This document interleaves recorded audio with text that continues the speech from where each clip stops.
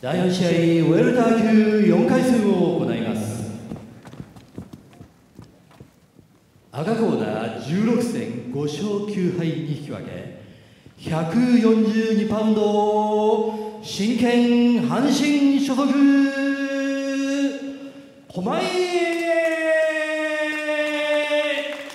健太。36歳のベテランファイター久々の勝利を目指します駒井健太。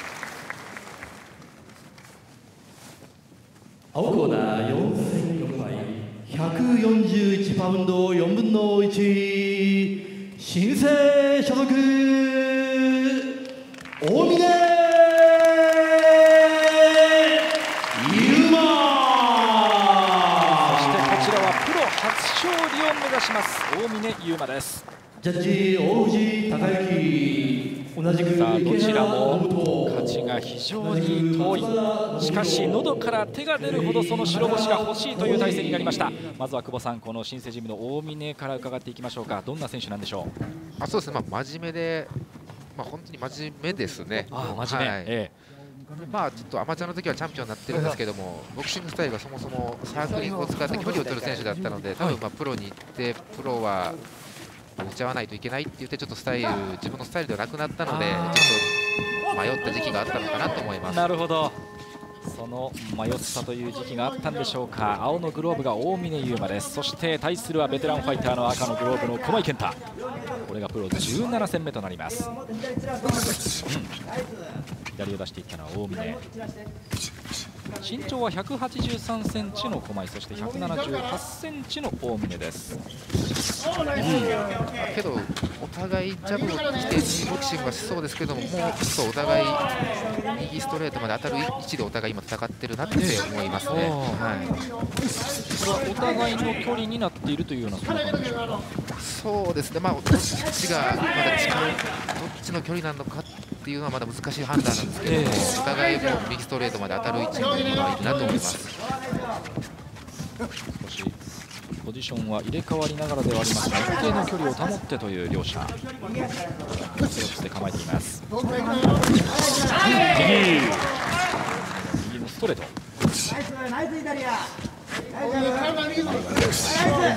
前回の勝利というのはかなり前になっています。2007年9月です。これも久々の勝利となるでしょうか。赤いグローブの狛井一方で大峰はプロデビュー2019年からまだプロの勝ち星がありません。左から右ワンツー。いいあっと前に出た。そんな感じでしょうかそうですね、はい、初勝利に向けて、はい、もう本当に真面目だというふうに大峰の性格を分析していました。そうですね、一度それでプロを辞め、現役を一回引退したんですけども、えもう一度やりたいって言って、新生ジムに来たので、はい。まあ、僕としてはもう、自分のボクシングを貫いて、ええ。あの後悔なくやってほしいって一番先に言ってはいるので、はい、大峰選手の良さが出るボクシングスタイルで自分のやりたいことで通してほしいなとは思います。はい本来は技術があって足を使える使ってジャブがうまい選手なので、ええ。はい、そこからどうするかだと思うので、自身の理想とするスタイル。それがなかなかうまくいかずに変わったその信念が曲がりかけたこともあるかもしれませんが顔面にダメージがあるのが赤のグローブの狛井です。今画面の向こう側さ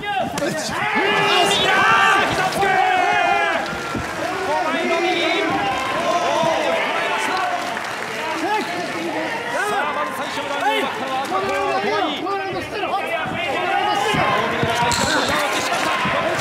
さあ決めきることができるか一方で大峰は手に切ることができるかここで第1ラウンド終了のゴングが鳴りました第1ラウンド終盤に駒井が大峰からダウンを奪うという展開になりました。久保さんいかがでしょう？そうですね、最初始まった時からお互いのストレートが当たる位置でのやり駆け引きではあったので、まあ、そうですね、まあ、一瞬の突きというか、はい、素早い右、思わず膝をついてしまったという大峰。いや顔面のダメージは相当、駒井の方が大峰のパンチもらっていたようにも見えたんですが、このストレート。まあ、このダウンが2ラウンド目以降にどう展開に影響するかですよね。そうですね力んだからね、力まって4回戦で。いいペースラウンドさあ狛江にとってはこのダウンは非常に大きい。いや大峰にとっても非常に大きい。この4回戦の第1ラウンド1つのダウンちょっとセコンドアウトに時間がかかっています。さあ気持ちの面での余裕はどうでしょうか？マウスピースが少し装着に時間がかかったようでしょう。かかったんでしょうか？さあ第2ラウンド始まりました。大峰のダメージはどうか、うん、はい。そして駒井がその大峰の周りを回ってい。きます左のフック。駒井選手はちょっと立て直す立て直すというよりもちょっと自信を持った形で踏ん張れてきてはいるので,、で大峰選手は行かないといけないっていうのがあるのでここからどうなるかですよね、この駆け引きが。ただ大峰選手もまだまだ冷静ではいてほしいとそんな感じでしょうそうですね起点にまだジャブからではいいと思うんですよね、やっぱり左フックから飛んでいくと今のまた右ストレートが来てしまう可能性があるので、もうちょっと丁寧にやってほしいかなとは思います。丁寧に、はい。まだまだ中盤2ラウンドまだ始まって2ラウンドです。半分も消化していないというこの試合左大峰の左でした。このラウンドダウンを奪ったというところもあって精神的には少し余裕が出ているはず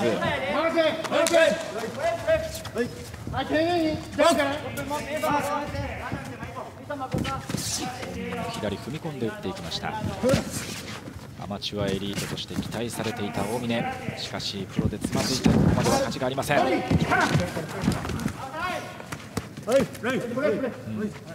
ょっと狛江の方もかなり印象としてはこうなんていうんでしょうか疲れているというか少し動きは速くなさそうに見えるんですけどそんなことはないです。かそうですね大峰選手がずっとプレスをかけてくるので、えー、はい、ちょっと負けしてきているのかなと思いますけど、は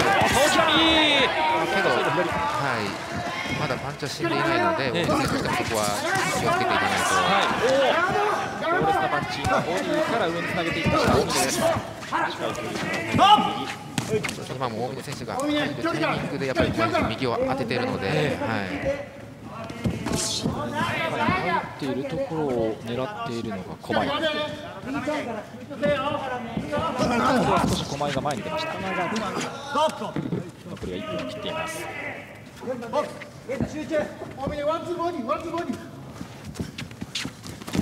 側から右。大峰です。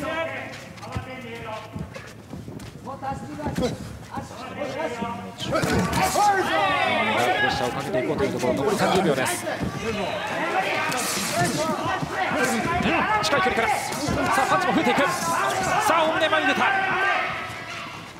時間はあとわずか第2ラウンド連打連打。しかし5倍もこのパンチ返していきます。互いの手数を増やしてきたこの第2ラウンドの終盤ここで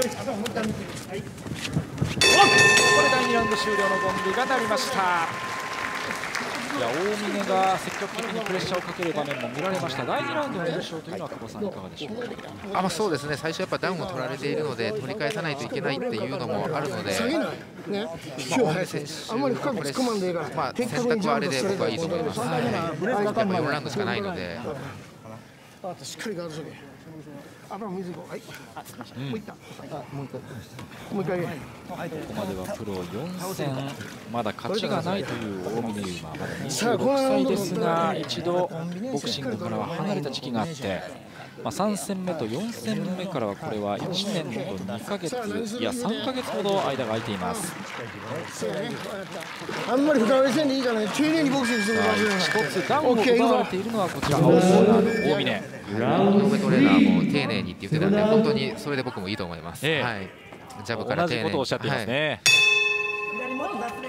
さあ丁寧に丁寧にはいどうぞ。大峰選手もやっぱりジャブを起点にする選手なんですけども、ちょっとまあ正面立ちにはなるので、そうなってくれば右ストレートが力強く打てるわけではないので、ここがちょっと相手にとってもまた怖さがないのかなとも思ってしまいますし、はい、そうなるとやっぱり遠い距離から右ストレート打とうと思うとやっぱり流れてしまうので、そこに合わされてしまう可能性も出てくるので、そこら辺もやっぱ気をつけてほしいかなとは思います。なるほど来るところに回して当てれば別にいいんですけども自分から打とうと思ってやっぱり必然的に正面立ちの体から右ストレート打ってやっぱ流れてしまうので、はい、体重、まあ、姿勢とい。うところも気をつけてい。きたい。ところですね。はい、そうですね。やっぱり今のもやっぱり相手が状態がたやっぱ身長差があるので、右ストレート打つにしても大水選手がやっぱ体が浮い。てしまってい。るので、もうちょっと右ストレートの下にボディを打てばい。い。かなと思い。ます。ああ今右、はい少し鼻血を拭ったという構えさあ手が増やしてきた。強いパンチを今出していきました。さあまだたっぷりある第3ラウンド。少し手を止めています。先に手を出したのは駒井でした。大水選手が気持ちの強さを見せる分距離が近くなるので、小井選手の距離にもなってしまうので、そこだけはちょっと気をつけてほしいかなとは思います。自分の距離は相手の距離ですか？そうですね、まあ、本来はもうちょっと大水選手の遠い距離なんですけど、やっぱり初勝利に向けて、やっぱり気持ちのが出てる分、距離が縮まっているので、なるほど、はい。まあ、それがいいよいいところにかればいいんですが。そうですね、はい、ぱり距離が縮まるのはやっぱ当たる当たりはするので、はい。やっぱりボールもするので、さあ中盤。第3ラウンド。これは2ラウンドしかありません。7レーンの赤のグローブのさばいてった。まだまだ顔面は綺麗に見えますが大きな一つダウンを奪われています。第1ラウンドでした。小井選手、今のワンツーでちょっと引いたかもしれないですね、ちょっと、はい。少し聞いたようなそんな素振りがありましたか？ちょっと反応的に遅れてきたので、はい、今も力強くは打ったけども、その後がやっぱりもう立て直せれないので、はい大峰選手も今がちょっと勝ってほしい。かなと思います。今、駒井の表情を見ていても少し口が開いていて、そうですね、やっぱりちょっと足がはい、力強くなくなってるので、さあどうでしょうか？第3ラウンド残り時間はあとわずか。残りは10秒エブリーの静止も少し聞けなくなっているぐらい気持ちが流行っているか大峰第3ラウンド終了、うん、今両者の表情を映し出していますが第3ラウンドの印象というのはこのさんいかがですかあまあ、そうですね、まあ、最終、まあ、終盤に大峰選手が打ったワンツーがちょっと効いたのかなっていう感じですかね、印象としては。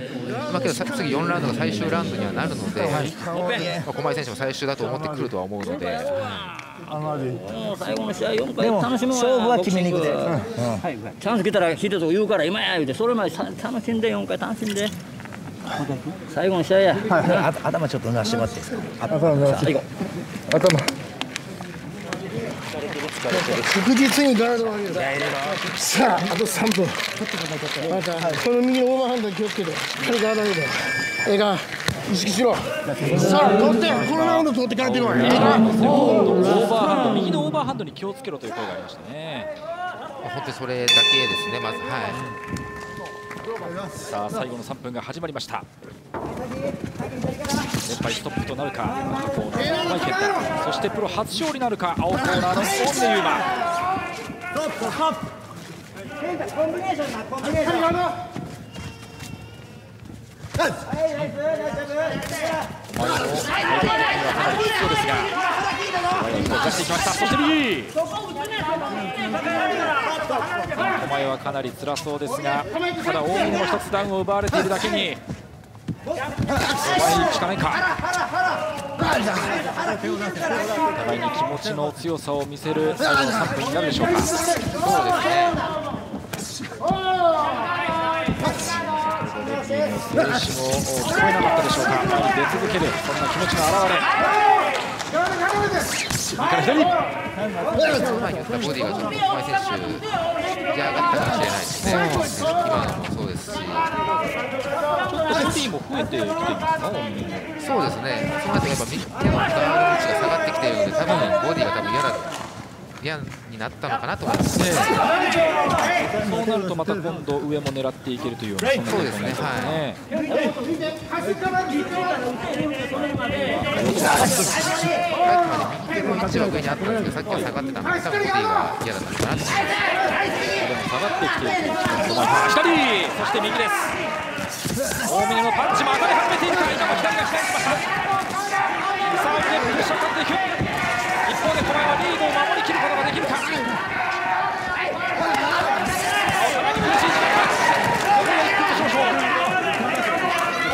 左上げろ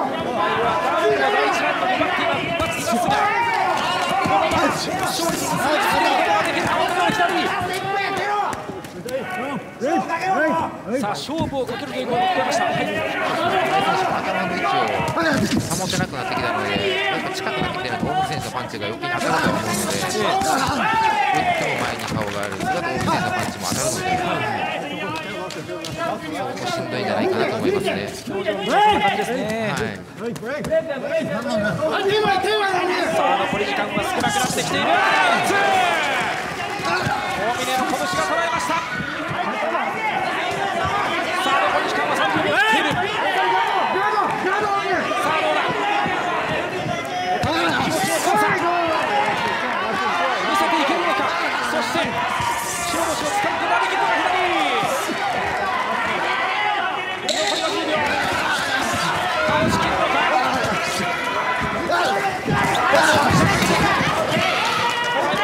記録を振り絞るここで最終第4ラウンド終了がありましたダウンを奪うことはできなかった大木ですがいいヒットを見せましたさあ最後の3分間の印象というのは久保さんいかがでしたか？あそうですね。大峰選手がいいパンチをすごい当てたなと思います、気持ちもすごい見せたし、あえラウンドだと思いました。そうですね、い。や一方で駒井も表情から非常に苦しいことは分かるんですけれどもなんとか気持ちの強さというものを見せてくれました。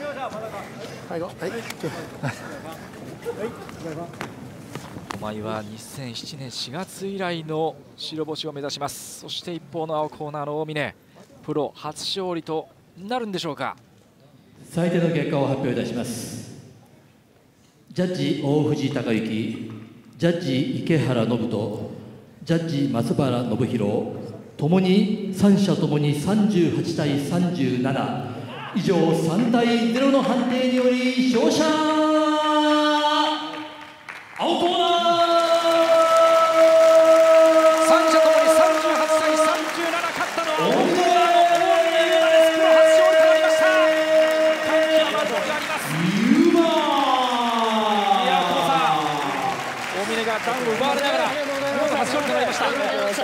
そうですね、新生ジムの後輩として言うと、やっぱり良かったですね、ええはい、やっぱりいろいろ覚悟があって、ボクシングをもう一回復帰した結果ですし、自分のボクシングを貫いた結果が今、今日形になったのでよかったと思います。はい。画面が光るものがあります。アマチュアエリートと期待されながら踏み入れた、踏み込んだプロの舞台。2019年6月にプロデビュー以降、4戦連続で悔しい思いをしてきました。その向こう赤の駒井健太も今深々と丁寧にお辞儀をしました。いやただ赤赤コーナーの駒井もダウンを奪うなどいいところは随所に見せてくれました。あそうですね、本当にあの気持ちの強さが出た試合、気持ちが強いところを見せてくれましたし、ええ。駒井選手があってのいい試合だったと思います。そうですはい。ね、最初にダウンを奪ったのはこの赤コーナーの駒井でした。久々の白星とはなりませんがいいところを見せてくれました。